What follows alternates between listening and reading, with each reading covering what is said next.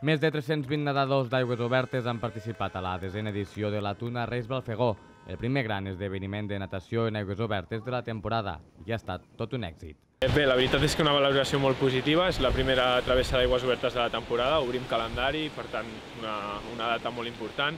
Eh, hem tingut alguns nedadors internacionals que els ha servit també de preparació i per començar a preparar aquestes competicions internacionals i la veritat és que molt contents a nivell organitzatiu perquè la, la cursa és única, se surt des de 5 quilòmetres a dins del mar i no hi ha ninguna altra cursa d'aigües obertes que sigui així i crec que els participants també ho han, ho han gaudit molt i han pogut disfrutar-la.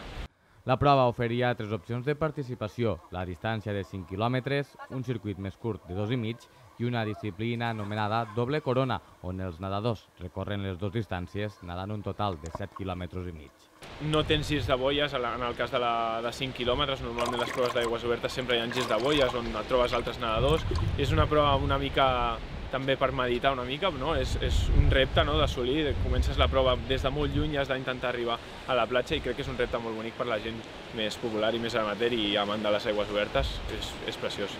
Els guanyadors han estat els nedadors internacionals del Club Natació Mataró, Guillem Pujol i Clàudia Giralt. Pujol s'ha proclamat per tercera vegada a la seva carrera campió de la doble corona, mentre que Giralt també ha guanyat les dues distàncies en categoria femenina en l'any del debut.